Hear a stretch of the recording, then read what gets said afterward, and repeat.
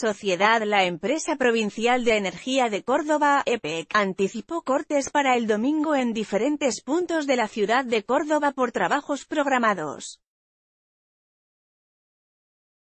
En su mayoría se trata de tareas de mantenimiento, Miramas renuevan alerta por tormentas fuertes para Córdoba acá los barrios afectados y horarios. De 7 y 30 de la mañana a 1 y 30 de la tarde zona afectada, barrios Belgrano y Villa Belgrano, en forma parcial. de 7 y 30 de la mañana a 13 zona afectada, barrios Nueva Italia, La Hortensia y Parque Montecristo, en forma parcial. De 8 a 10 zona afectada, barrio Observatorio, en forma parcial. De 8 y 30 de la mañana a 2 y 30 de la tarde zona afectada, barrio Alejandro Centeno, en forma parcial.